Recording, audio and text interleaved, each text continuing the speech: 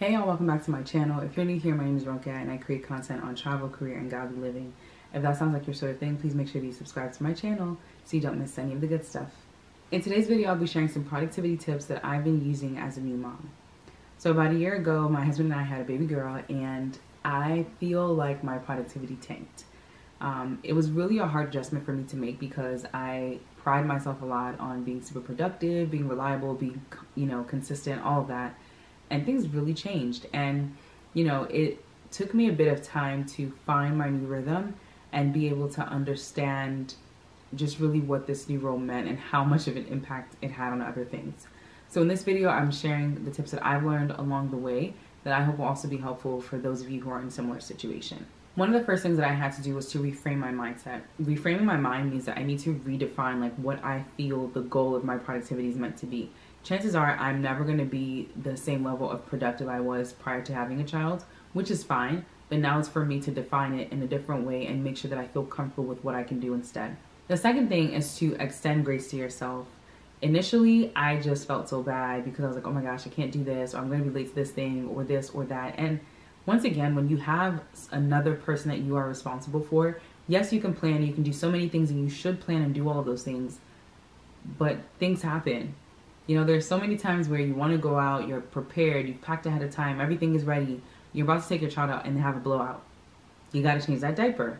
Or you've prepared, you've planned, and your child just does not want to wake up from their nap. Or you've prepared, you've planned, you just need them to take a nap real quick before you leave and they don't want to take a nap. So I had to really learn to kind of extend grace to myself and just really understand that a lot of things are outside of my control. And so for me, I had to start learning how to be a little bit more patient, even with myself, such that even if I feel like maybe I dropped the ball in doing something to get us ready, then I'm not necessarily holding it against myself and beating myself up for it. As a new mom, as a new parent, as a caretaker, there are some things you're probably still learning along the process, even if it's not your first time around. So you really do have to be willing to extend grace to yourself. The third thing that I really learned in this season is to delegate, delay, or drop. I feel like there's a lot of things that I do, whether for myself or even outside of my personal life, um, whether it is at work or whether it's, you know, in other areas of life, like at church. And for me, I love, like I said, I, I love doing, okay? I like to just get things done. I like to make sure that things are done. But I really learned more in the season to delegate. Um, you know, delegating is important because when you delegate, delegating means that you're identifying someone who is just as skilled, if not more skilled than you, and you're giving them this work to do. And the importance of that is it can still get done. Maybe they might need a little bit more guidance, maybe they might need some encouragement, but they're able to do it. And so I've really learned to give away the things that I don't have to do. So there are some things that you don't really even need skill for, you just need a body to do it, right? So maybe someone to help you sweep, or someone to help you wash the dishes, or someone to help you load the dishwasher. I really learned how to start asking for help and delegating certain things that I just know I don't have the bandwidth to do. I've also learned to delay some certain things. There's some things that maybe I just don't have the time to do right now, right? Maybe I want to make a phone call. I might delay it until I know that maybe I'm in the car and I'm already going to be out and about, and so that's a good time to do it. Or maybe I need to, um, maybe I need to cook, and I might delay it until a time where maybe I know that I have a little bit more help around, so that if I'm cooking and the baby needs attention, someone else can get to her, right? Um, and then there are some things that I've just had to drop in this season, I have just embraced, and it's so hard for me to do, but I've really embraced being able to stop doing things that I just know I can't continue. You know, at the end of the day, my 24 hours that I had before I had a baby are the same 24 hours I have after having a baby. And so now that she takes up more of my time, unfortunately, some other things that took up time before, I had to let them go. And so I've had to become comfortable with being able to assess different things and determine what can I delegate, what can I delay, what can I drop. And then if none of those apply, what then do I have to do? For me, another thing that I was doing, and this is something that I've actually done even prior to being a mom, but one thing I really actually like to do is to time myself. I am slightly competitive, slightly competitive with myself as well. But I found that whenever I can time myself on doing tasks, it helps me in two different ways. Number one, I'm on a timer, and so I know that I have a set amount of time to accomplish this task or to get further along in the task. And so it really helps me to focus. Number two, it helps me to also know for the future how long it might take me to do this task. So let's say I'm um, trying to wash the baby bottles, right? And maybe I have to wash all the bottles and all of her like you know, bowls and, and little jars that I use for her food.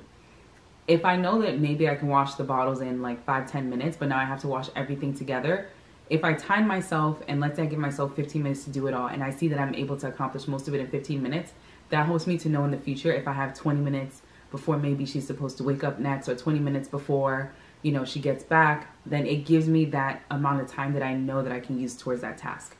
The next thing I like to do is to take advantage of peak energy.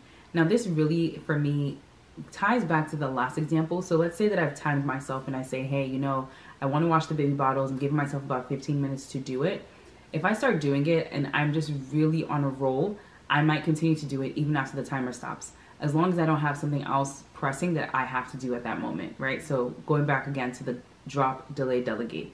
If it's something that I can delay that's coming up after, I'll delay it a little bit so I can finish what I'm doing if I know that that's like peak energy for me. This is helpful for me because it also makes sure that I'm not switching between tasks. You know, I've mentioned it before in a prior video that I personally don't like multitasking. I just don't think it is truly, truly achievable because a lot of times you spend time switching between tasks that you could actually be using towards the task. So for me, if I feel that I'm already on a roll and it would take more time to stop and start something else and then come back to whatever I'm doing, I'll just continue doing it just to finish it up and then move on to the next task. Finally, for me as a new mom, one of the things that I'm really embracing is just doing it with the baby. There are so many activities and so many different things that I've been trying to do or that I try to do and I'm like, okay, I just need me time. I just need to focus. I just have to do it and, and get it done. And it's hard. If you always want to wait until you have the perfect time or the perfect opportunity to do things, you will seldom do things. And so I've learned how to allow her to help me or just kind of have fun in the process of me doing things. So one thing is laundry. Um, there are some times where maybe if I'm like folding her clothes, I will just let her play in the room. So she might literally just be throwing out the clothes, the same clothes that I'm trying to fold as I'm trying to fold them, but it's fine. And I could probably fold a little faster than she can throw. So we get it done at the end of the day. Um, for me, this is also very convenient for times where maybe I need to run errands. I need to run to the mall. I need to run to the grocery store. I can throw her in the car, not throw her in the car. I can place her in her car seat in the car with me and then we can go out, run the errands that we need to run and come back. So you don't always have to try to also plan around the baby. I think that you can also include your baby in some of these things you're doing. And it's good because it also gives you the time to bond with your baby. I remember in the earlier days when she was still very, very little and I would sometimes wrap, like wear a baby wrap and just kind of baby wear around the house to get some stuff done. And so it, it just felt nice because once again, it was bonding. I got to, you know, have some like physical contact with her, but then it also helps me to be productive moving forward, I'm trying to be mindful of how I define my productivity and how and how strict I am on being productive. I really just want to make sure that I'm accomplishing the goals and also giving myself some downtime in between, right? I'm really beginning to understand that spending time with my child in and of itself is also productive. So as you're going through whatever life season that you're in and as you're dealing with maybe whatever might be on your plate, begin to look at things differently and also remember that taking care of yourself, taking care of your loved ones, is also productivity. That's all I have for today's video. Please make sure to like this video, share with others, and subscribe to my channel for more travel, career, and God living content. See you in the next one.